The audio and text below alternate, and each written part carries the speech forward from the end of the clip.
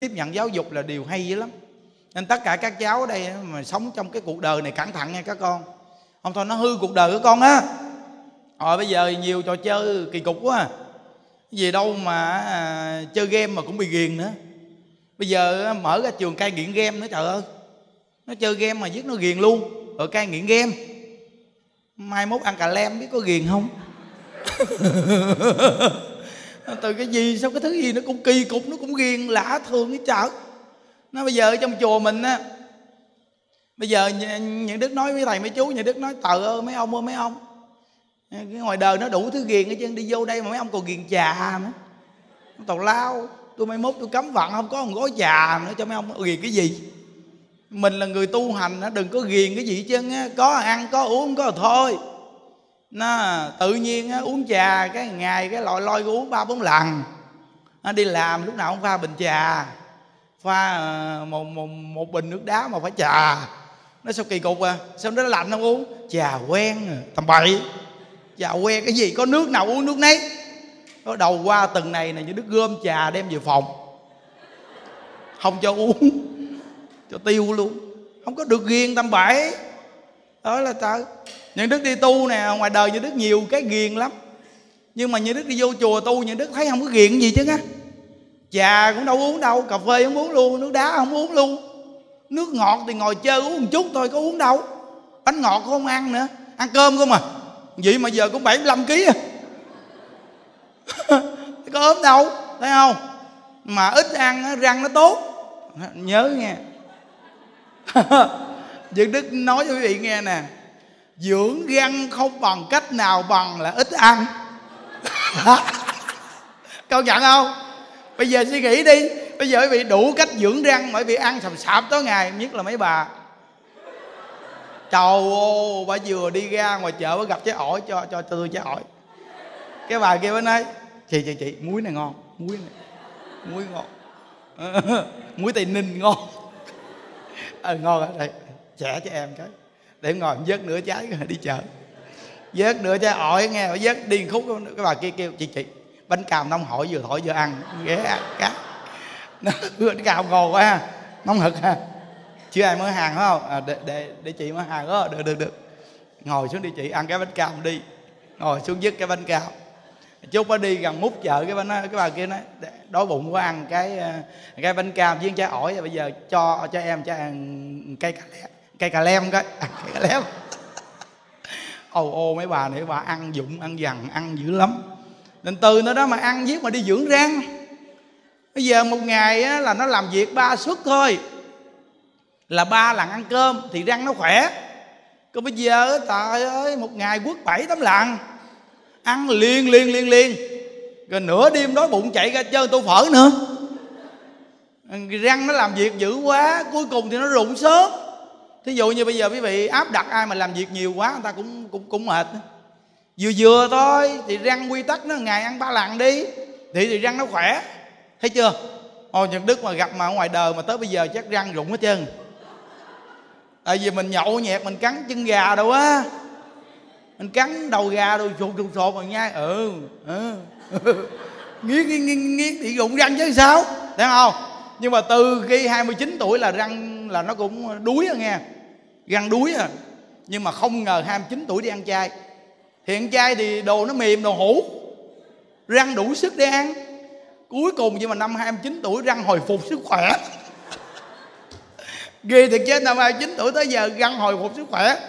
Răng ngon lành. Này, bon bon bon. Thấy chưa? Cứng ngắc luôn. Vì sao? Vì từ 29 tuổi tới bây giờ là răng hồi phục sức khỏe, không có nhai xương nữa. Thấy chưa? Nó nên quý vị á, dưỡng thân dưỡng tâm là bằng cách nào? Là bằng cái cách mà chúng ta mỗi ngày vui vẻ đừng có lạm dụng mình quá. Cái gì cũng vậy chứ mình lạm dụng quá là nó hư à. Mình làm dụng cái gì quá là nó mau hư không nói chứ. Thí dụ giờ mình chạy chiếc xe đi mình áp đặt nó mình chở nó tàu mình chở quá trời nặng rồi mình qua ổ gà mình chơi bung bung bung bung mình lủi vô cây cối tùm lum thì mau hư còn nếu như mình dạy mà mình biết thương nó, mình lau chùi sạch sẽ, mình kỹ thì đồ nó tốt. Đúng không? Ví dụ như bận bộ đồ mà không giặt cái chân hoặc giặt xong không ủi gì chân thì đồ nó mau cũ, mau rách thôi. Nên cái gì mà mình lạm dụng quá đáng thì là nó mau hư. Nên thí dụ như mình là đàn ông đi, mình thương vợ đi, mình biết bồi dưỡng cho vợ thì vợ nó đẹp cho mình nhìn lâu còn bây giờ trời ơi, mình bỏ bê nó, viết bèo, nhèo mặc vô cái bánh bèo. Viết rồi bây giờ bây giờ nhìn thấy gớm luôn á bắt nó làm việc, rồi bắt nó lo chuyện gia đình. Không cho nó một miếng dầu thơm trang điểm gì hết. Rồi bắt nó tối ngày cứ nấu ăn trong bếp, lo việc đủ chuyện, viết mặt nó như cái bánh bèo, đúng rồi nó làm việc mà tối mặt tối mày mà. Đó là không biết bồi dưỡng đấy chưa mà bây giờ mình ví dụ mình đi làm về, đi vợ mình nói sạch sẽ, mình nhìn nó cái mình thấy cũng cũng được. Còn mình mình đi làm mệt gì mà nhìn của vợ chầu chầu giống cái bánh bèo á, thôi. Vậy sao hạnh phúc, thấy không? Đó, nên mình là người đàn ông là chăm sóc hoa là phải khéo chăm sóc. Còn nếu mình không khéo chăm sóc là hoa này mau tàn. Thấy không? Đó đó là cái cái cái tiếp nhận giáo dục hay lắm chứ không giỡn đâu. Bồi dưỡng cho một gia đình hạnh phúc. Còn người phụ nữ chăm sóc chồng là bằng cách nào? Có người dịu dàng. Nói chuyện thì mỹ đàng hoàng. Mình gọn ghẽ, sạch sẽ thì tự nhiên gia đình người ta đi làm, ta muốn đi về nhà sớm. Tại về nhà nghe tiếng của vợ mình nói mấy câu thấy nhẹ nhàng còn mà gặp mà con vợ mà mỗi ngày tâm trạng nó nặng nề nó không biết tu hành gì đó mà lo tiền lo bạc nhất là gần tết này nè. Trời ơi mình đi làm mệt muốn chết luôn về vừa bước tới cửa nhà nghe nó chửi con á nó chửi tá lả âm binh cho mình nói thôi thôi thôi thôi tao mà vô đây chắc tao tao tao dính miệng quá. Thôi được rồi tao đi luôn. Nó vừa bước vô nhà là nó đi mất tiêu rồi. Nên á, tại sao mà người đàn ông ta đi hoài mà ta không về nhà là do người đàn bà đó. Cái quan trọng người đàn bà lắm á nghe. Một là không biết nấu ăn nè hai là không biết dọn dẹp nhà cửa sạch sẽ nè. Ba là không biết cách nói chuyện nè. Những cái những cái khuyết điểm này mà không giữ được chồng ở nhà. Chứ nếu như người đàn bà mà nấu ăn ngon á, trời ơi, người ta đi đâu người ta cũng nói, thôi thôi thôi thôi, tôi thấy tôi ăn ở đâu cũng không bằng vợ tôi nấu, vợ tôi nấu ngon lắm. Nó ăn tô hủ tiếu, nó tao ô sao bằng vợ tôi vợ tôi nấu hủ tiếu đặc biệt lắm. Thấy chưa? Còn mình mà đi về nhà nói, anh ơi, đói bụng không? Được, đi ra, ngoài ngoài trước nhà mình. Có cái tiệm hủ tiếu ăn hủ tiếu. Vậy thì mắc gia đình rồi. Gia đình mà không nấu ăn là mắc gia đình. Nên người phụ nữ quan trọng là biết nấu ăn. Nên tất cả các bé gái này nè, phải được dạy nấu ăn. Trời ơi, các con đừng có nói xã hội phát triển mà trời ơi, thầy ô xã hội phát triển mà nấu ăn cái gì thầy ô đôi bụng mà mua gói mì ăn rồi thầy, u. Mì hàn quốc, mì này mì kia ngon thầy, u cần gì nấu ăn vậy thì các con đừng có mong mà được hạnh phúc. Người phụ nữ mà không biết nấu ăn là thua. Trời ơi quá kém cỏi. Nên tất cả các cô vô chùa những đứa đều tào tạo nấu ăn hết. Mấy đứa bé vô chùa 17, 18 tuổi, 15, 16 tuổi những đức bắt dọn cơm nấu ăn những đức mà những đức chê tá lả âm binh. Bắt buộc phải chê luôn á. Biết chê làm chi chưa? Cố gắng cố gắng lên. Thấy không? Nên 14, 15, 16 tuổi là bắt nấu ăn vô đây là những đức đầu tiên là gì? Bắt nấu ăn là những đức? Dọn cơm. Dọn cơm nấu ăn cứ bắt làm vậy để chi? Để cho nó biết. Biết đâu cuộc đời nó nó không tu luôn suốt cả đời sao? Sau này nó bước ra ngoài chăng nữa nó cũng là một con người biết nấu ăn biết làm việc này cái kia. Đó là cái điều mà những đức muốn giúp cho các cháu nó vô chùa nó vậy đó. Nó gọi cái gì? Lau nhà quét nhà. Nó những đức sắp đặt cho cô nhật không? Đứa nào mà quét nhà mà cái cái lưng thẳng băng đó, cô cầm cái cây cô gõ xương sống đó gõ. Hạ xuống. Làm biến. Quét nhà mà cái lưng thẳng. Ví dụ mấy nhỏ gái nha. Quét nhà mà đứng thẳng vậy nè cầm cái chổi làm nè. Nhiều đứa nhỏ nó vô chùa kỳ cục ghê biết sao nó buồn ngủ một thời năm lịch hình bảo lục tới giờ. Buổi sáng mà nó cầm cái chổi nó quét cái phụ nó quét một chút nó, nó quét. À, à, chút cái đầu nó tự nhiên nó lùn xỉn nó cầm cái chổi cái đầu nó dựa vô cái chổi làm nè. Nó để cái chổi ngay đây nó làm nè. Thấy không? Nó đuối ghê chưa? Còn mấy đứa nhỏ nhỏ trong chùa là bắt quét nhà phải khơm xuống quét quét. Nó phải dạy từ cái chuyện nhỏ đó mà không đơn giản đâu nghe. Ờ, con gái mà không biết mấy việc đó về làm dâu cũng phiền. Chắc mấy đứa nhỏ nó giờ không làm dâu thầy u. bây giờ bây giờ bây giờ mất gốc làm dâu thì u. Mấy đời không làm dâu rồi đời con cũng không làm dâu thì u. Ở à, không xã hội phát triển nó ghê chưa? Viết nghĩ làm dâu luôn. Đúng rồi nghĩ làm dâu luôn bởi vì người già sau này đi vô viện dưỡng lão ngồi hết trơn đúng hả? Nó nước mỹ nó đâu có làm dâu đâu có gì nó vô viện dưỡng lão ngồi không á không có nuôi người ta thì bây giờ đời mình ai nuôi mình? Nếu mình làm dâu thì có con dâu, còn mình không làm dâu thì sao có con dâu? Bởi vì bây giờ là mẹ dâu không? Trời ơi, bây giờ mà có thằng con trai mà cưới con dâu về bữa đầu nó về nó còn ngại ngại bữa thứ hai là nó nắm được nửa cái nhà. Bữa thứ ba là nó dứt từ cổng tới trong, ra tới sau hè. Bữa thứ tư là nó kêu mẹ chồng, nó pha con ly cà phê coi. Trời không đơn giản. Bây giờ mà nói mà bây giờ mà có khi mà có con trai sanh nuôi khôn lớn vậy đó mà đi cưới vợ là chưa chân là bên bên nhà gái nói một câu nói một câu lạnh ngắt. Câu gì? À, con của tôi đó đó vợ ở nhà nó không có làm gì cực khổ lắm nghe anh chị. Nếu anh chị mà thương mà cứ gì thì nhỏ nó không có làm dâu được đâu nên cứ về thì anh chị coi cho nó ra riêng đi chứ. Ở nhà nó có làm dâu được. Trời ơi chưa chân nói câu mà nó lãng xẹt. Nó câu lạnh ngắt. Bây giờ bỏ tiền ra bây giờ đi cưới vợ cho con mà gì nói câu là không làm dâu. Thấy chưa quý vị thấy kinh khủng không? Nhưng mà thằng con trai mình nó nói mẹ mẹ phải cưới nha. Mẹ cha mà không cưới được con nói thiệt đó, con bỏ nhà này con đi luôn cho bà biết. Con thương con nhỏ rồi dữ lắm. Không cưới cho con đi. Rồi con treo cổ trên lóc nhà chết cho bà thấy. Thấy không? Con nhào vô xe đạp con tự tử cho bà biết. Thấy không? Rồi cuối cùng rồi cha mẹ cỡ nào cũng phải năn nỉ người ta. À, à được được anh trời ơi nhà tôi có gì đâu mà làm dâu nhà gọn băng. Sáng tôi quét một cái chiều tôi quét một cái. Con nồi cơm bấm điện một cái. Đồ ăn mua chợ đem về xong có làm dâu gì đâu. Cái gì không cần làm dâu đâu con à về con chỉ cần để cho cho cho ba mẹ thằng cú tí cú tèo là được rồi. Thấy chưa? Thấy không? Mở cái cửa cho nó mà phải cứ. Thấy không? Thì hứa gọi. Cuối cùng về nó đâu có làm dâu nó làm mẹ. Nó đâu có làm dâu thua. Thấy không? Bây giờ nói cái chỗ này có chừng có nhiều người người ta coi người ta à, à đúng không thầy. Thầy nói ghê thì tôi ba đứa con dâu mà tôi đúng rồi ông thầy nói đúng quá cho bữa nào tôi vô gặp thầy quá.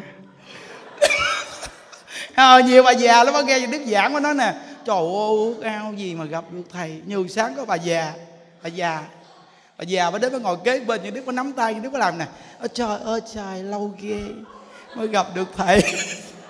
À, bà nghe bà, bà thích mình quá. Bà nắm tay mình bà mừng bà nói trời ơi ở nhà cứ nghe thầy giảng. Mấy đứa con đi làm suốt ngày nào cũng chơi với thầy hết à, nghe như đức giảng suốt luôn á. À, nên từ nơi đó thấy không? Rõ ràng đó.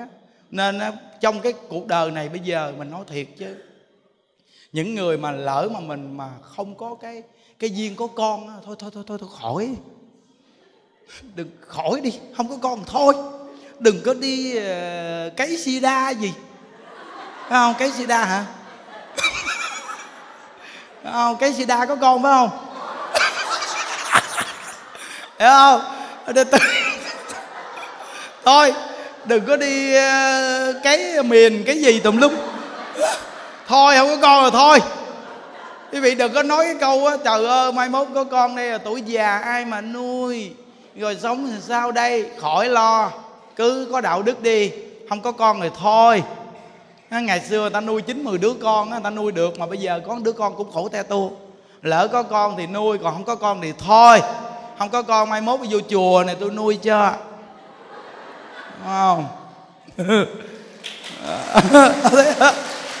à, trời ơi. Có nhiều người nó khổ thê thảm. Thấy không? Nó cứ là có nhiều người là không muốn có con, mà cái là đụng là con, đụng là con. Ngừa hoài mà ngừa cũng không nổi luôn, ngừa mà cũng con con con. Có nhiều cô có lại gặp như đứa có nói là trời ơi, thầy ô thầy con nhỏ nhà kế một bên con men.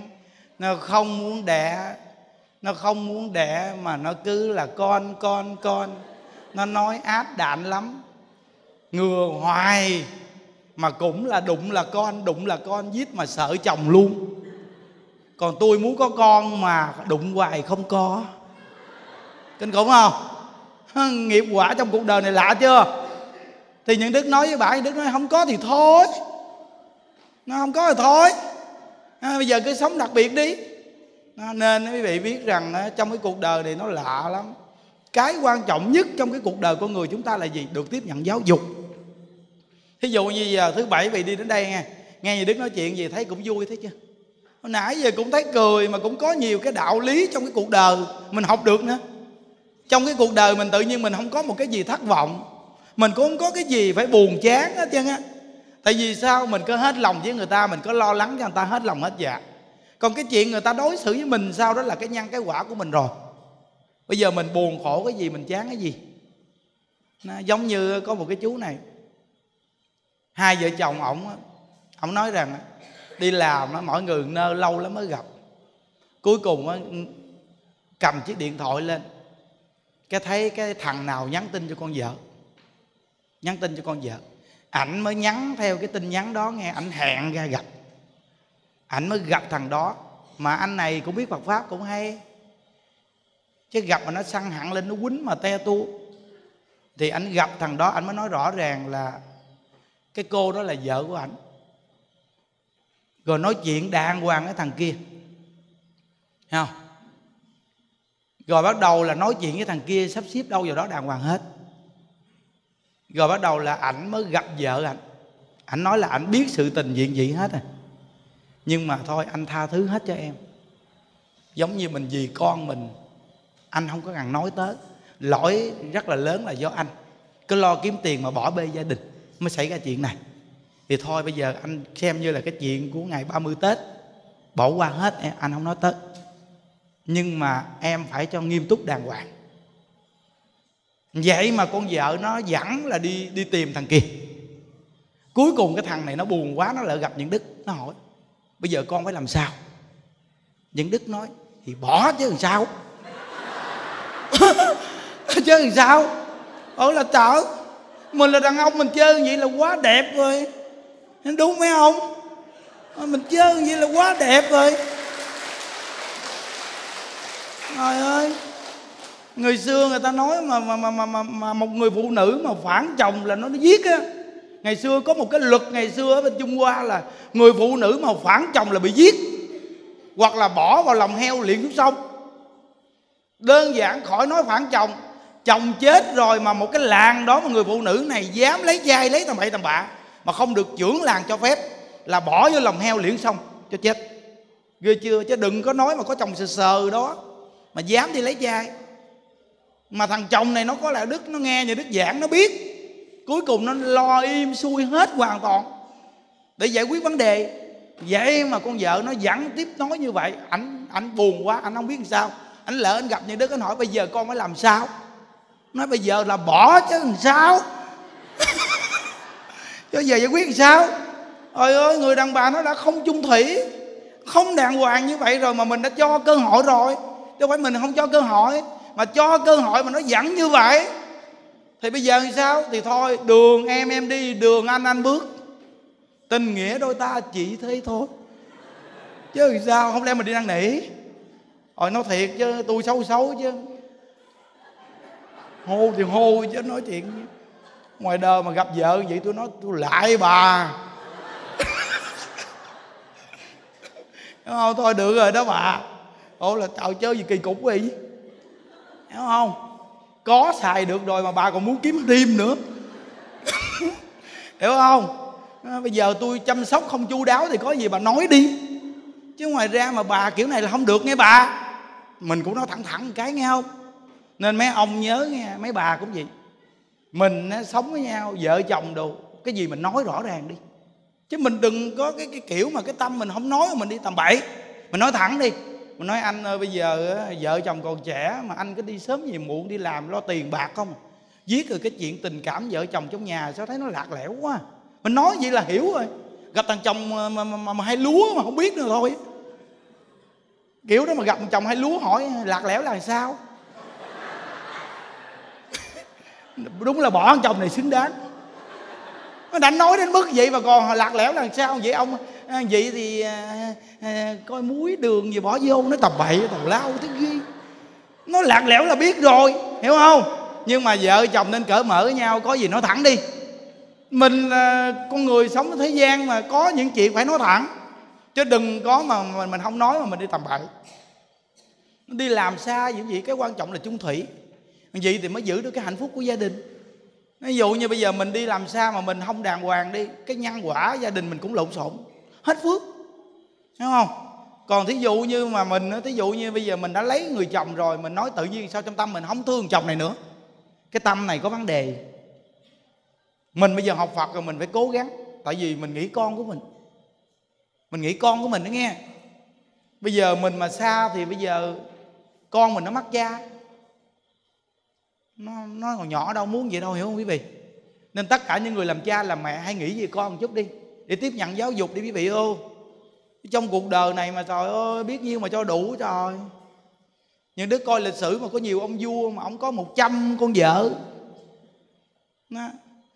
một vòng thôi là ông cũng đủ chết queo. Một trăm cô vợ. Việt Nam mình có một ông vua mà vợ nhiều nhất mà con nhiều nhất á. Coi lịch sử đi. Rồi ô mình thấy đúng là bởi vì tại sao mà nhiều ông vua chết sớm đúng rồi. Vợ cả trăm con mà không chết mới sợ. Hiểu không? Thấy chưa? Không biết đủ.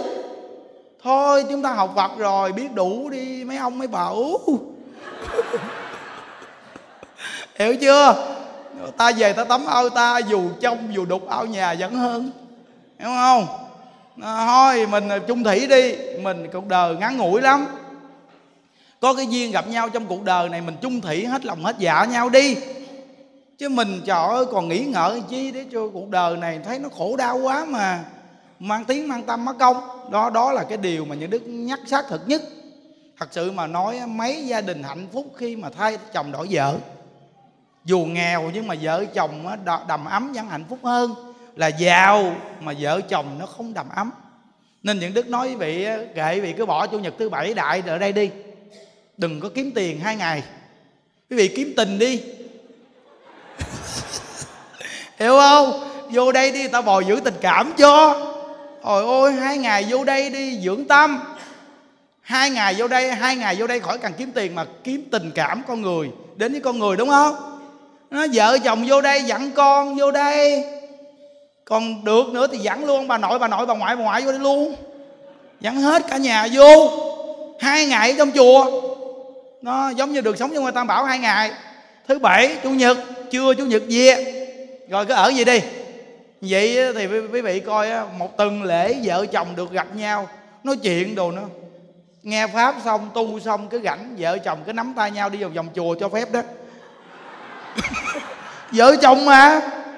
Nó ừ, vừa đi vòng vòng đường ngắm hoa rồi nghe không? Mình tự nhiên thấy tự nhiên người đàn ông nó cũng có tư tưởng lãng mạn chứ thấy tự nhiên người phụ nữ ta cũng thích nữa tự nhiên mình đang đi cái nhìn kìa em. Cái gì? Cái gì vậy? Cái gì? Tự nhiên ông chỉ ngồi chợ chim bay kìa. Trời ông, ông này thiệt tình. Sao vô đây thấy ông lãng mạn quá nghe. Đó cái đầu tự nhiên đang đi đi nhìn kìa em. Hỏi cái gì? Hoa giấy nở kìa. Tự nhiên á mình thấy nó có một cái gì hạnh phúc của cái cái vợ chồng kia được ngồi với nhau rồi tự nhiên á trong năm sáu ngày đó làm việc cái vợ chồng được ngồi với nhau cái nói chuyện hỏi han qua lại về công việc sao làm sao? Rồi tự nhiên vợ chồng nói chuyện rất là cỡ mở vui vẻ. Rồi con để chạy lăn tăng lăn tăng trước mặt mình nó giỡn. Thấy không? Còn nếu mà hai đứa con thì chồng ẩm đứa vợ cổng đứa. Nó trời ơi tự nhiên sao thấy vui quá vậy trời? Nó đây là ta tạo một hoàn cảnh đặc biệt á, cho cái nhân sinh á, để mà cảm thấy ngoài xã hội nó có nó nhiều việc bận biểu quá. Không có được cái cơ hội này nên vô chùa mình đó đây là cái hạnh phúc của gia đình. Người ta được bình yên quanh năm nên người ta tạo cái bình yên cho quý vị được thời gian đó đó. Cho quý vị được vô chùa bình yên á. Đó. đó nên đây là cái điều mà trong lòng những đức nghĩ rằng cuộc đời con người mình đến thế gian mấy chục năm mà quý vị ơi thôi mình làm được mình làm mình cố gắng thôi. Nhiệt tình hết mình. Chứ nói nói với một ngày mà như đức chạy ba bốn đậu tràng mà chạy viết cũng muốn, muốn mệt chứ không giỡn đâu. Hiểu không? Nó lúc này mà sơn nhà mà làm có khi tới 11, 12 giờ phi. Đứng à, lạng lạng vòng vòng cũng mỏi chân nó giống giỡn đâu. Nó bắt đầu à, qua chủ nhật rồi tới thứ hai bắt đầu bắt tay vô việc làm. À, thấy mấy cái phòng mấy cụ tội nghiệp mấy bà già. Khi cả đời khổ quá. Những đức cứ nhớ đến ba mẹ mình khổ quá. Bây giờ mình nuôi mấy bà già mình nghĩ rằng như cha mẹ mình đi. Nên bây giờ có được cái phòng mà những đức nói thôi mình làm sao cái phòng cho nó sạch. Bây giờ những đức lát gạch cho cái phòng nó mát cho mấy bà già bà ở rồi bắt quạt cho mấy bà rồi ờ, bắt màn mới cho mấy bà luôn. Kệ đi cuộc đời mấy bà không còn bao lâu nữa. Dù sao thì kệ người ta nhưng đã nuôi thì nuôi cho nó đàng hoàng. Nó, thì mình cũng cố gắng quý vị nó thật sự hết lòng cố gắng. Còn ngày nào sáng cũng nói chuyện cho bà cười bà vui một chút. Nên mấy bà già như đức nuôi bà ít bệnh đó quý vị thấy không? Ít bệnh. Bà vui á chứ ai mà nuôi đâu mà đông giữ người già giữ cái chợ không? mà nít đi vô chùa mình nghe nhà đức nuôi mập lù à. Ngộ ghê nuôi mau lớn lắm. Ừ, ví dụ như bây giờ mấy nhỏ gái 10 tuổi rồi vô như những đức mà nuôi chừng năm hai năm bự lắm. Ngộ ghê á chắc nó vui sao á. Nó mà đứa nào đứa nấy mặt sáng giỏi. Từ nào đó rèn luyện cho cô nhật có rèn luyện một cái lớp nhỏ. Sau này hai ba năm cái những cái đứa này nó lớn lên nó biết việc chùa hết rồi mới tách nó ra, qua bên vị trí làm bếp, qua vị trí lau dọn, qua vị trí làm việc này việc kia, tách ra tách ra tách ra, là đào tạo từ khi còn nhỏ, để lớn lên biết việc mà làm, phục vụ tam bảo, phục vụ chúng sanh. Mà thấy nó sống hạnh phúc lắm, sống vui lắm. Nên điều đó là cái điều mà gia đình mình, những đức thường nói rằng đó, là chùa mình là một đại gia đình. Khi mà về đây rồi đó, mình được tiếp nhận giáo dục về nhân quả, giáo dục làm người, giáo dục đạo đức. Những đức nói, con người chúng ta quý vị ơi, cái đạo đức làm người là quan trọng nên các cháu các con nhớ nha dễ thương nhất là gặp người chào hỏi. Ví dụ như mấy nhỏ con gái như đức hướng dẫn lớn lên 16, 17 tuổi đừng có mắc cỡ. Gặp chào hỏi mắc cỡ gì? Có nhiều đứa 16, 17 tuổi lúc còn nhỏ chạy theo mình tăng tăng tăng chạy theo mình không à? Chạy theo thầy chạy thầy vậy mà mới 16, 17 tuổi 15, 16, 17 tuổi cái tự nhiên cái gặp cái chốt sao vô duyên kỳ cục cái chợ tự nhiên gặp chốn mà. Nó kỹ con?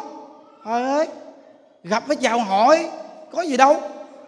Con gặp mấy thằng trai con chốt con gặp những đức ờ, cái gì đâu mà chốt những đức hiền lắm. Gì đâu mà sợ. Hiểu không? Nó con gái nó ngộ vậy nghe mà tập thôi tính, tính nó viết quen. Quen tặc luôn. Gặp và chào hỏi tiếng đi. Những đức đâu có cần vậy đâu nhưng mà tập cho các con quen đó ví dụ như bây giờ lớn lên 16, 17 tuổi cũng như kệ mình gặp mình gặp thầy mình lỡ dạ với đạo phật con chào thầy. Vậy là sống rồi. Tự nhiên gặp nó nó trốn nó tiêu à. Nó, nó mắc cỡ. Kỳ cục ghê mấy nhỏ này kỳ quá trời kỳ. Hiểu không? Nên những đức nói chào hỏi là cái việc rất là quan trọng nghe không? Mình vừa chào hỏi người ta là thấy nó ăn tình là dễ thương rồi đó. Còn gặp người ta mà không biết chào hỏi là các con vô duyên đó nghe.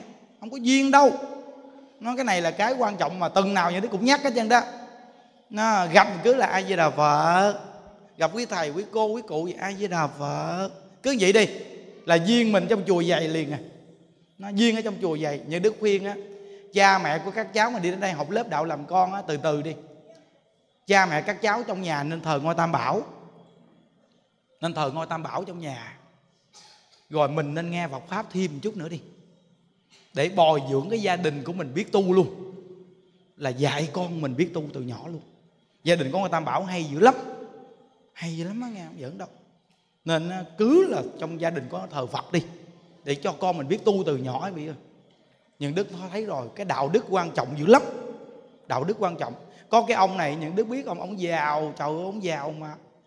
Xe của ổng á, mà nó nhiều lắm, mà toàn là siêu xe không à. siêu xe mà xe mà chơi mà cẳng vàng vô không mà nghe. Bánh xe đủ chơi không, cẳng vàng đồ vô không có ghê thiệt. Mình nói, thí dụ bây giờ như đức dạy các con nghe, sau này nếu đứa nào mà lớn lên mà con, các con có phước đời trước, con giàu quá đó, quá giàu luôn nghe, các con đừng có chơi vậy. Đừng có chơi vậy các con. Các con đem vàng đó, các con đi giúp người ta khổ còn hay hơn. Còn mình có xe mình đi được rồi, chứ mình đi cẳng vàng vô xe làm chí trong khi người ta đói khát, người ta không có tiền. Nhớ nha, đây nè con cái câu nè. Gia đình mà nghèo á, mà muốn có phước thì phải tu phước. Gia đình đã giàu rồi mà muốn giàu nữa là cũng phải càng tu phước. Bây giờ mình giàu là do đời trước của mình, mà cái ông này thì trình độ cũng kém lắm, cũng nhỏ, trình độ học ít lắm. Vậy mà sao ông giỏi? Mà ổng làm nghề hình như sát sanh đó vậy đó mà ông giàu, cực kỳ giàu luôn. Mà cái nơi của ông mà ông tự thiết kế ra thành cũng như một cái công viên luôn. Ghê thiệt chứ.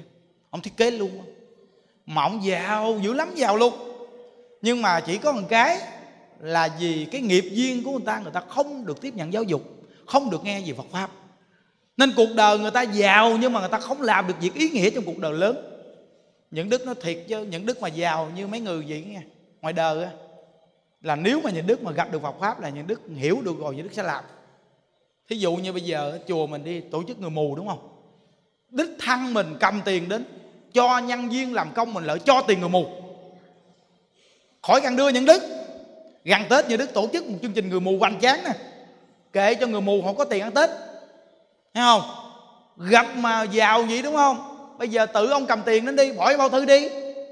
Cho người mù 500 ngàn cũng được đó có tiền nhiều mà bỏ vô bao tư đi, rồi bắt đầu ông cho nhân viên làm công của ông lợi cho tiền người mù.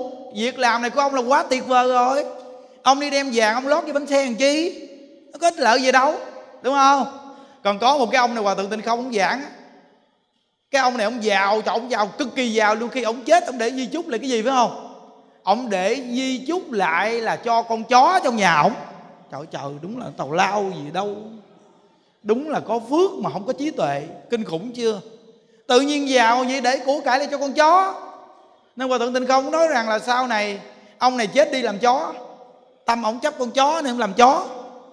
Quý vị thấy đời này giàu sang mà đời sau làm chó, quý vị thấy chưa?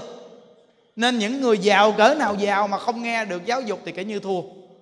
Cái đời này mà giàu vậy, bây giờ nhiều anh em nói, sư huynh sao ông này ông học ít gì mà ổng làm nghề sát sanh mà sao ông giàu đến mức cực điểm như vậy? Là tại sao, sư huynh? Những đức nói, trời ơi, giảng hoài mà cũng không biết. Đời trước của ông tu dữ quá. Tu phước nhiều quá. Đời này ông làm chơi cũng có nữa. Giàu, trời ông giàu dữ lắm. Mình không nói tên để làm gì mà công mệt.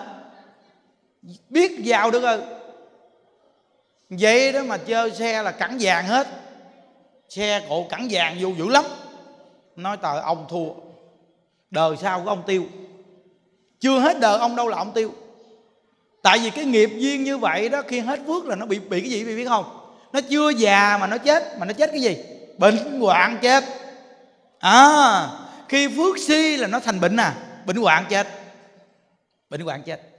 Nên chúng ta đó, càng có phước thì càng tu phước. Càng tu phước thì càng có phước. Mà càng có phước thì càng tu phước. Cứ làm đi vậy thì hưởng đời đời cũng không hết nữa. Mà mà quý vị hưởng ở đâu biết không? Nếu niệm phật là hưởng ở đâu biết không? Cực lạc. Ờ, hưởng cực lạc nó đặc biệt. Còn nếu như tu phước quá lớn là hưởng ở đâu? Cõi chờ lên chờ hưởng phước. Đó. Còn bây giờ chúng ta niệm phật thì mình đi đâu hưởng phước? Vì về cực lạc hưởng phước. Ngon hơn. Không già không bệnh không chết. Thấy không? Vậy mà nhiều người giàu. Những đức để ý nghe ở xã hội có nhiều người giàu mà gặp quả tai tự nhiên giàu lên, có nó dữ dằn ghê lắm. Nó nghĩ mình có địa vị tiền bạc giữ lên. Rồi khi giữ lên là quả tai đến liền. Không? Nên ở xã hội mà ai mà giàu quá mà mình đi phe của mình mình đưa của cải mình lên cho công chúng coi mà quá nhiều là quý vị có chuyện đến đó nguy hiểm dữ lắm. Im im đi. Rồi mình im im, mình tu phước tu duyên đi nữa thịnh hoài gia đạo mình. Rồi dẫn con cháu mình đi dạy cho nó tu đức tu phước đi. Thì tức khắc gia đạo mình qua đời, mình đời sau nó thịnh thịnh thịnh thịnh thịnh thịnh hoài. Còn bây giờ mà trời ơi mà mình mình mình không tu phước tu duyên là nó suy sụp. Nó chưa hết một đời là suy sụp. Hoặc là mình đi vào tù mình ngồi đó. Tại vì sao? Vì có tiền là nguy lắm. Nếu không khéo là tiền nó hại mình. Nó làm cho mình hung dữ lên mình bạo ngược lên. Rồi tự nhiên cũng có người trắng áp mình à. Thật, thật sự mà nói núi này cao còn núi kia cao hơn. Con người mà làm sao mà mình muốn làm bá chủ võ lâm được quý vị? Khó lắm. Nên á, bây giờ dạy cho con cháu mình tu phước tu duyên đi thì đó là cái tuyệt vời nhất. Nghèo cũng có tâm tu phước tu duyên, mà giàu cũng nên có tâm tu phước tu duyên. Nên những đức ờ, chia sẻ những công đoạn này, mong tất cả những người mà giàu sang mà họ nghe được á, quý vị nên bình tĩnh suy nghĩ lại nghe. Không phải quý vị đời này mà giỏi mà bị giàu đó đâu. Trời ơi, cuộc đời nhiều người giàu la, giỏi lắm, mà không có giàu. Tại vì trong mạng họ không có tiền. Còn đời này mình có tiền là do gì trong mạng mình tu đời trước nó nhiều quá, nên đời này mới giàu gì? Nếu như mà mình chỉ biết là mình giỏi rồi mình xài thoải mái rồi mình xài không đúng nơi đúng chỗ là bị bị suy sụp á. Nó không có được hết đời đâu là suy sụp rồi. Đó là cái nên chúng ta nhận thức đi. Để mà mình tu phước tu duyên để gia đình gia đạo mình nó thịnh vượng đời đời. Con cháu mình nhờ cái phước này mà nó hiếu thảo với cha mẹ vậy thì rất là tốt.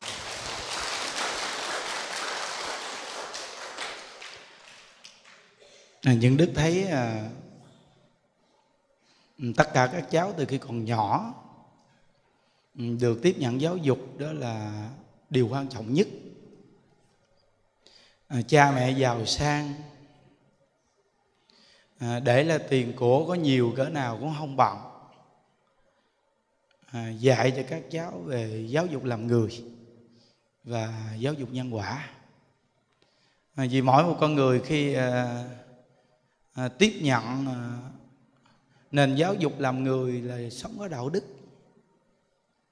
Mà đã là sống có đạo đức, một con người có đạo đức làm sao mà đi chích xì ke? Hoặc là đi đua xe, hoặc là cá độ đá banh, bài bạc, đá gà, ăn trộm, ăn cướp. Đã là có đạo đức thì không bao giờ làm cái chuyện đó. Đúng không? Ví dụ giờ mình để tiền lại cho con mình một đống tiền đi chăng nữa mà con mình đi làm chuyện đó. Nên mới nói rằng là cái cái để lại giáo dục cho con là quan trọng nhất. Nó quan trọng hơn để là tiền.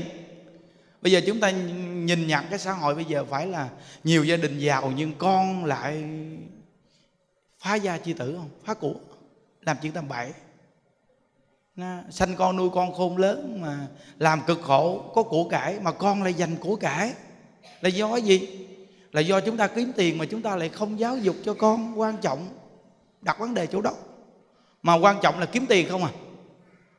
Ừ, chúng ta cuối cùng chúng ta bị cái tác dụng phụ đó là con mình hư. Tác dụng phụ là con mình hư. Nên những đức ở trong chùa, những đức gặp nhiều cặp gia đình, vợ chồng, gặp những đức nói gì nè. Giống như vợ đi làm chỗ này, chồng đi làm chỗ này cứ bận biểu suốt, ít bao giờ được gặp nhau. Làm tới tối xong mà về, mệt quá, ăn cơm, đi ngủ, sáng đi làm. Có khi đi sớm vì đoạn đường xa. Vợ chồng ít bao giờ gặp nhau. Thì làm vài ba năm vậy đó, thì đổ vỡ ra cái vợ mình có người khác, hoặc chồng mình có người khác. Như thế không? Kiếm được tiền mà lại mất hạnh phúc gia đình nên lúc trước tới giờ nhiều cặp vợ chồng đi đến đây học tập lớp đạo làm con hoặc là ngày chủ nhật. Nhưng đức thường nói rằng, gia đình thịnh vượng là ngay cái chỗ giáo dục.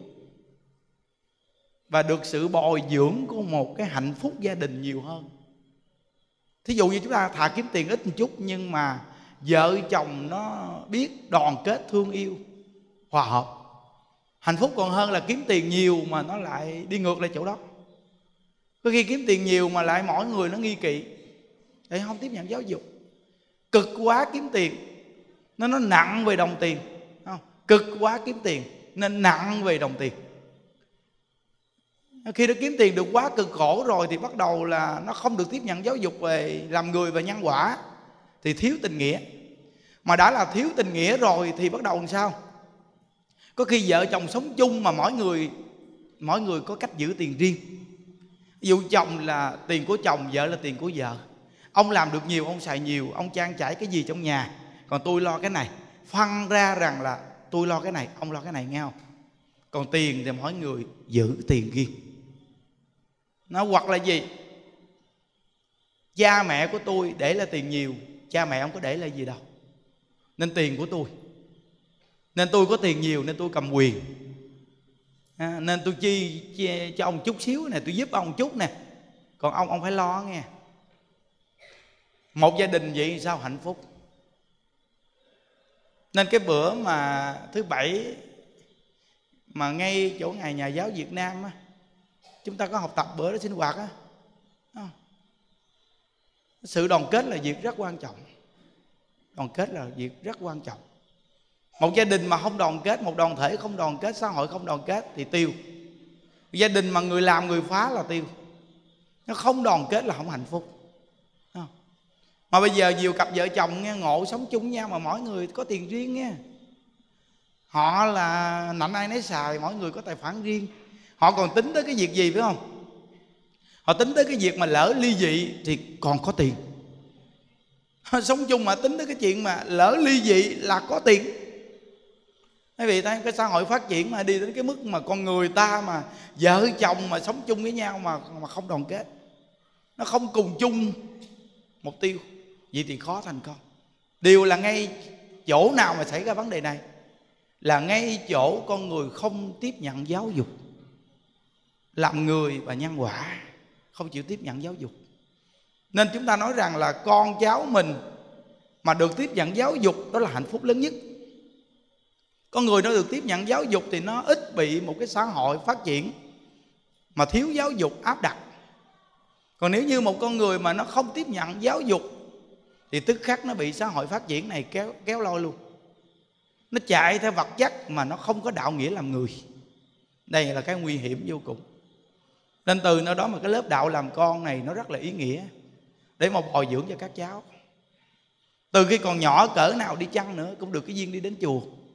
Sau này nó lớn lên, nó vẫn có những câu chuyện nó kể. Ngày xưa tôi còn nhỏ, được mẹ tôi, bà tôi đã từng dẫn tôi đi đến chùa đó chùa đó tôi bây giờ gặp Phật pháp là tôi nhờ bà tôi đã từng dẫn tôi đến chùa. Và tôi còn nhỏ tôi đã từng nghe ông thầy đó. Ông dạy gì gì gì gì? Thầy tôi chỉ có học lớp 3, lớp 4 gì thôi. Ông dạy gì gì? Nó kể lại. Sau này mình chết queo rồi nó lớn lên nó kể lại câu chuyện ngày xưa. Nó đã từng đi đến đây học. Hoặc là tôi đã từng đi đến chùa là nhờ cái cái cái cái cái trưởng đoàn diệu sưng. Hoặc là cô uh, mai hay là cô chuyển hay là một số đoàn đã từng dẫn tôi đi. Nó kể lại hết tại vì nó đã từng được người ta dẫn dắt nó kể lại. Thấy không? Nên đó, quý vị thấy rằng là không phải riêng con mình. Có khi con mình dẫn đi chùa nó không đi nhưng lạ thay mình dẫn con người ta đi nó lại đi. Thì mình nên chú tâm dẫn con người ta đi chùa để cho nghe giáo dục. Còn con mình không đi kệ nó. Chúng ta cứ coi con người ta như con mình. Đứa nào ở trong xã hội này được tiếp nhận giáo dục thì lợi cho đứa đó. Xã hội bớt đi một tệ nạn thì xã hội đỡ đi gánh nặng chúng ta cứ làm tròn trách nhiệm mình hết lòng đi. Nhớ cái câu xã hội giảm bớt một tệ nạn thì xã hội bớt đi gánh nặng. Mười người không tệ nạn thì xã hội chúng ta nhẹ nhàng được mười người. Còn tăng thêm mười người là tệ nạn thì xã hội chúng ta bị nặng nề, đất nước chúng ta nó bị ảnh hưởng chút. Nên tất cả các con nhớ nha, từ khi còn nhỏ mà được tiếp nhận giáo dục đó, cái tư tưởng các con mà thiện á, một con người thiện mà đủ duyên đó nghe họ mà làm một việc lớn á, thì đặc biệt lắm. Bây giờ các con cứ nghĩ nè, những đức học Phật năm 29 tuổi, cái nhân viên những đức học Phật mà bây giờ những đức lo cho một ngàn mấy trăm người nuôi bao nhiêu người già, các con thấy không? Nếu như mà cái đất nước chúng ta mà có chừng khoảng cỡ một trăm ông thầy gì, thì bao nhiêu bà già được nhờ chưa? Nó tính đi bao nhiêu bà già được nhờ chưa? Đó. Mà nhờ những đức được tiếp nhận giáo dục phật giáo những đức mới làm được gì? Chứ ngày xưa một bà già như đức còn chưa nuôi, đừng nói chi mà một ngàn một ngàn người mà như đức nuôi. Thấy chưa? Vậy thì cái sự tiếp nhận giáo dục là một cái lợi ích cực kỳ lớn. Nếu như những đức bây giờ nuôi cả ngàn người, nếu như cha mẹ những đức bây giờ còn sống, bây giờ những đức hỏi quý vị, không lẽ những đức không nuôi cha mẹ những đức? Một ngàn người những đức lo, không lẽ bây giờ cha mẹ như đức như đức không nuôi nên mình đào tạo cho con mình thương người thì con mình thương mình. Mình đào tạo cho con mình thương mình thì con mình mà nó không thương mình nữa nghe, là đối với tất cả người nó đều coi như cỏ rác luôn. Nên người xưa người ta rất là khôn. Người ta giáo dục con người ta bằng cách lan can. Nó không điểm ngay người đó thí dụ như giờ mình lo cho người đó mà người đó mình bắt buộc người đó phải lo cho mình là cái sự nó nó nó nó nó nó nó giống như nó lập luận bằng bằng một cái xã hội công lợi. Còn bây giờ mình nuôi người ta mà mình đưa người ta một tư tưởng là con phải làm việc lợi ích cho mọi người, thương cha, thương mẹ. Nghĩ ơn cha mẹ thì con phải sống có ý nghĩa, đừng nên làm những việc mà như những con người cho rằng là tệ nạn xã hội. Con đừng làm những việc đó đó là nhớ ơn cha mẹ rồi. Bây giờ mình chỉ cần kêu con mình là thương người, giúp người, sống có đạo nghĩa cứ nhiêu thôi là quý vị đang trả lại cho quý vị là con quý vị. Nó sẽ đến quý vị bằng đạo nghĩa. Còn nếu như mà mình nói con sau này có tiền, là đi học giỏi, làm được có tiền, làm công ty nước ngoài, hoặc là mày lấy chồng à, Việt kiều, rồi mày đem tiền đô gì lo cho tao nghe. Cái này dạy tầm bậy rồi nè dạy này dạy tầm bậy dạy cái này là dạy trong một cái xã hội công lợi nó không có đúng. Mà khi con mình mà nó không thương mình thì đối với người ta lại coi như cỏ rác hết trơn giống như mình đào tạo ra một con người mà nó trở thành một con người tệ như vậy là thua rồi. Hiểu không? Đó nên á chúng ta nghe được gì rồi á thì tất cả các cháu nó cũng sự ảnh hưởng nữa. Bây giờ con nít 7, 8 tuổi 9, 10 tuổi đây nó nghe là nó có sự ảnh hưởng rồi. Nó có sự ảnh hưởng là chắc chắn 100 phần trăm. Nghe viết là ảnh hưởng à ví dụ như giờ mấy đứa nhỏ mà nói, ông trong lớp này sao mà đi chích xì ke? Rồi cái chuyện chích xì ke người ta gọi là con ma nghiện. Mà ai mà muốn mình trở thành con ma nghiện không? Không. Không bao giờ mình muốn mình trở thành con ma nghiện bao giờ chứ. Vậy thì bản thân mình phải là người đàng hoàng chứ. Một công dân đàng hoàng, một công dân khỏe mạnh. Chứ không có ai mình muốn mình trở thành một công dân bệnh hoạn hết chứ. Nó những đức ngày xưa trên thành phố, những đức thấy những người nghiện ngập xì ke ma tí họ cứ trốn ngay gốc cây hoặc cái lùm nào đó họ chích xì ke. Bây giờ không lẽ mấy thằng trai này các con lớn lên các con đi làm việc đó. Thí dụ như các con chơi với bạn bè bạn nó nói à, mày coi tao này mày coi tao chích một cái này cho mày coi nè mày con trai nhát hít. Mày coi tao này tao chơi hàng đá tao hút cái cho mày coi nè. Cái bữa đó các con biết không? Có cái thằng mà bây giờ nó hút thuốc điện gì đó ta? Hút thuốc điện tử gì? Trời ơi thằng trai có 18 tuổi. Mà không biết nó nó nó nó nó, nó hút thuốc điện tử rồi nó nó chơi hàng đá gì không biết nữa. Mà cái mặt của nó cũng như ông già 50 tuổi. Còn già hơn ông già trong chùa mình 50 tuổi mà trong khi có 18 tuổi à. Không biết vì sao mà nó làm cái gì mà kỳ cục. À, mà mẹ nó từ ở miền ngoài bà về bà mẹ bà khổ. Mà mẹ chừng chắc cũng khoảng cỡ bốn mấy năm mươi tuổi bà mẹ bà học phật bà tươi rối. Còn thằng con trai ấy, trời nó nó nó không có tiếp nhận giáo dục. Mà chắc thương có thằng con trai quá có thằng trai thương thương nó quá hư. Vậy mà nó hút thuốc điện tử gì đó nghe nói. Rồi chơi hàng đá. Vậy đó mà tội vả từ miền ngoài phải dẫn đứa con trai vô trong chùa. Để mong mà nó được vô đây để mà nó ở trong đây để nó nó, nó sửa đổi lỗi lầm. Nó vô hai ngày thôi nó không ở nó không chịu ở.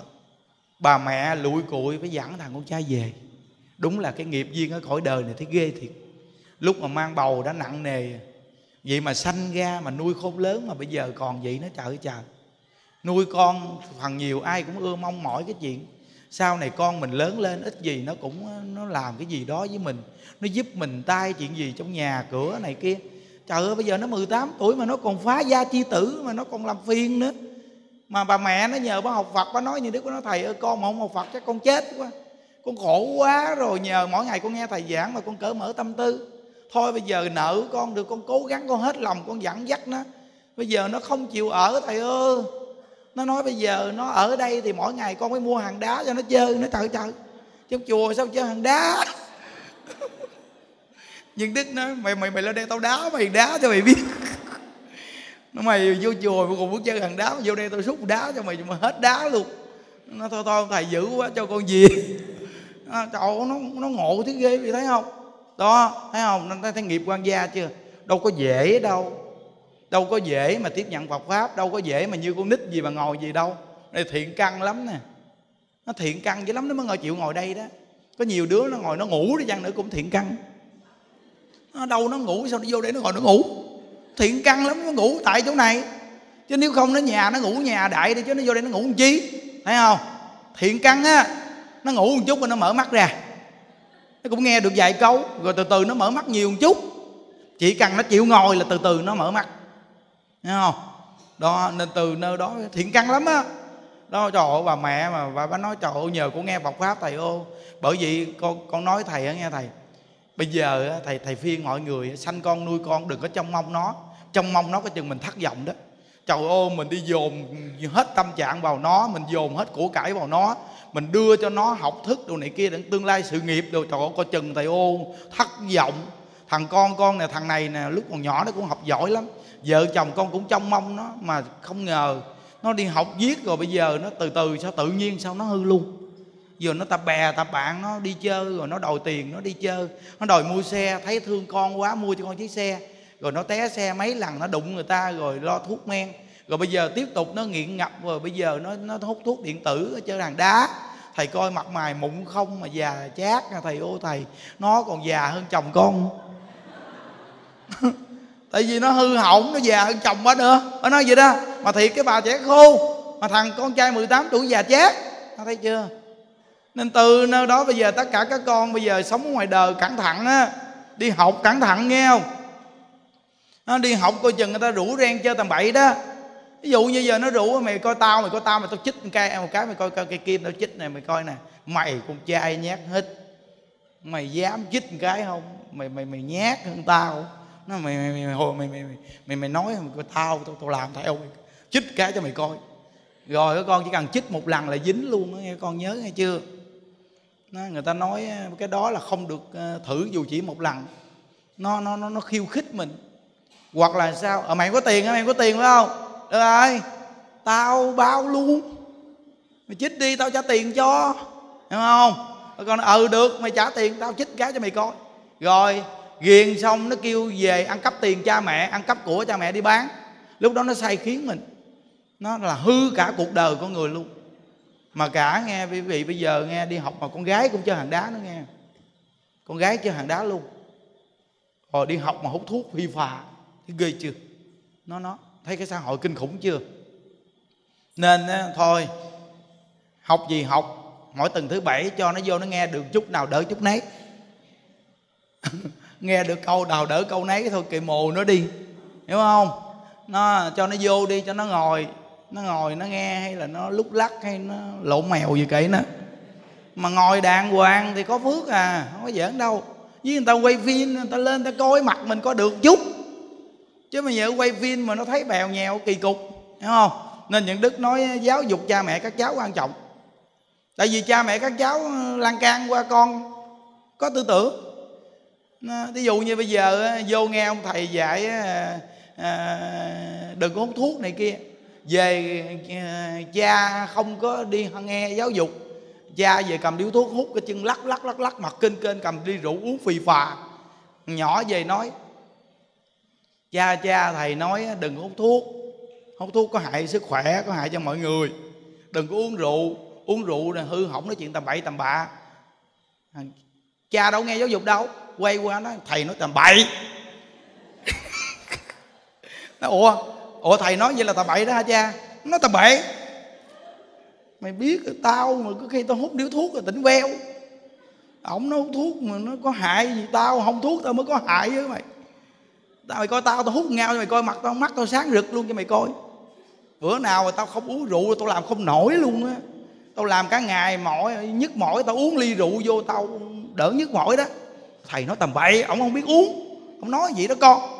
Mày đến mày nghe nghe chứ mày đừng nghe lời ông thầy, nghe lời ông thầy không có nên đâu nghe. Nó thấy chưa? Ông đâu có tiếp nhận giáo dục đâu thì mấy đứa nít đi học gì thì nó nói là ông ông sực nó một cái rồi sắp. Đúng không? Còn nếu như mà cha mẹ các cháu mà tiếp nhận giáo dục thì họ về họ dạy con họ. Ta trở thành một gia đình hạnh phúc là do người lớn mà gầy dựng á. Thì cái đầu kéo làm sao thì cái đuôi theo gì chứ có bao giờ mà cái đuôi kéo cái đầu không? Không lẽ bây giờ mấy đứa nít thì đi tiếp nhận giáo dục thì nó còn nhỏ xíu rồi nó chưa quyết định được. Nó nói về nhà thì nó là cái đuôi, còn cha mẹ nó là cái đầu. Không lẽ bây giờ nó đủ sức mạnh mà cái đuôi nó gịch cái đầu, nó ghiền nó kéo cái đầu đi? Không có đâu. Cái đầu kéo cái đuôi. Hiểu không? Nên cha mẹ các cháu tiếp nhận giáo dục còn quan trọng hơn các cháu nữa. Nhưng mà bây giờ cha mẹ các cháu bận quá nên các cháu nó mới vô đây. Rồi nhiều gia đình ở đây người ta có phước là cả vợ chồng con cháu vô đây luôn. Đây là quá phước rồi, hiểu chưa? Đó, cái này là cái quan trọng lắm á giỡn đâu. Nên bây giờ mình kiếm tiền nhiều mà có chừng vợ chồng mà nó không hạnh phúc á. Cẩn thận đó nghe. Thôi chúc đại chúng an lạc nha. A di đà phật. Nguyện à, đem à, công à, đức này hướng về khắp tất cả đệ tử và chúng sanh đồng sanh về tịnh độ. À, như đức đọc tên những cháu ngày nay sinh nhật nha Giáp Thị Thu Thủy 17 tuổi. Nguyễn Lê Khánh Linh 5 tuổi. Phạm Thị Tùng 52 tuổi. Bùi Phương Anh 8 tuổi. Nguyễn Hữu Nhật Minh 4 tuổi. Vũ Thị Mai 43 tuổi. Nguyễn Thị Nguyệt 47 tuổi. Nguyễn Thị Chiên 38 tuổi. Phạm Tấn Lộc 12 tuổi. Phạm Thị Bích Quanh 43 tuổi. À, Lên đây.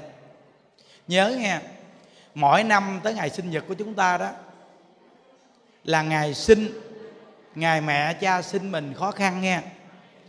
Ngày đó chúng ta làm phước báo công đức gì? Chúng ta niệm Phật Đều mang cái tâm Hồi hướng cho cha mẹ. Nhớ. Còn tất cả các cháu là ngày sinh nhật là ở đây gì nè? Các con đừng có đòi một món quà gì của cha mẹ chứ nghe không? Mà như tuần trước như Đức dạy đó, Còn mua một cái bánh kem Nho nhỏ nghe, Cắt ra để mà dâng lên cho cha mẹ còn sống luôn á.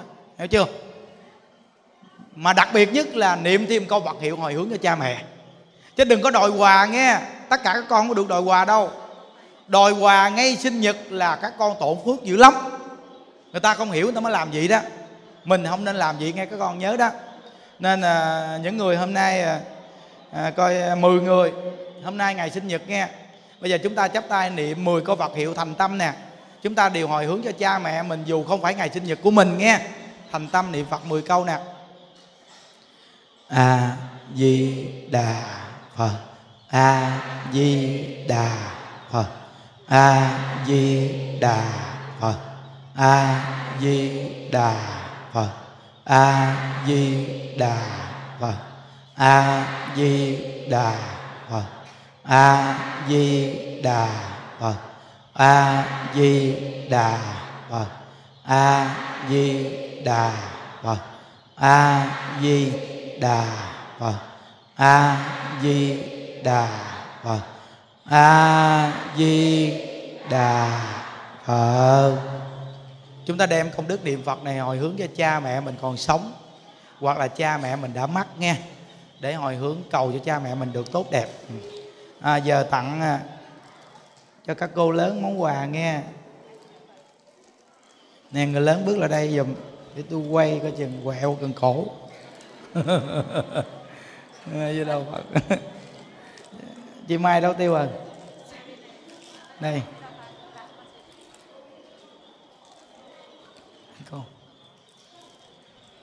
Rồi các cháu này con. Ừ đứng đó khoan hãy xuống.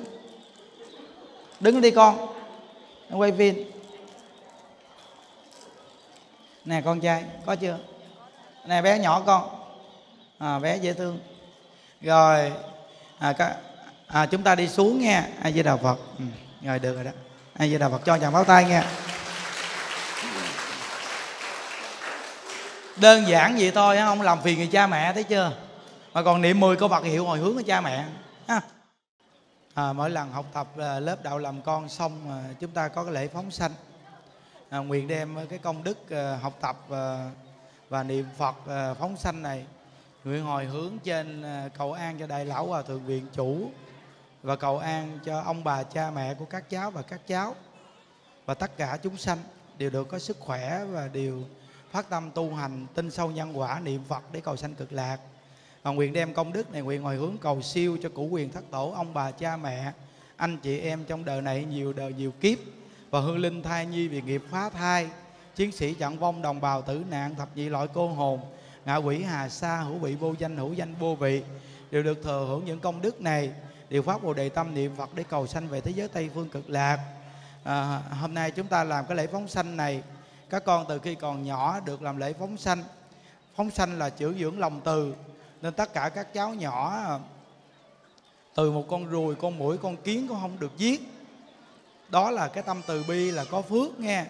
Thí dụ như có những cháu mà à, bệnh hoạn èo ọt khó nuôi mà nhờ đi đến đây nhờ niệm phật phóng sanh nghe giáo dục mà các con chuyển cái nghiệp bệnh hoạn trở thành có sức khỏe.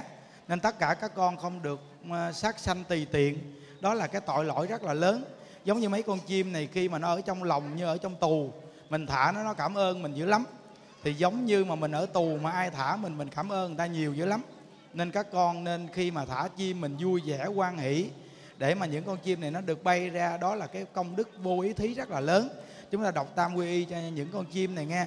Quy y phật không đọa địa ngục, quy y pháp không đọa ngạ quỷ, quy y tăng không đọa bàn sanh, quy y phật không đọa địa ngục quy pháp không độ ngạo quỷ quy tâm tăng không độ vàng sanh quy phật không độ địa ngục quy pháp không độ ngạo quỷ quy tăng không độ bàn sanh. À, chúng ta đồng niệm phật để thả chim các con.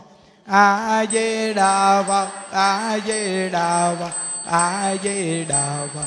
A di đà phật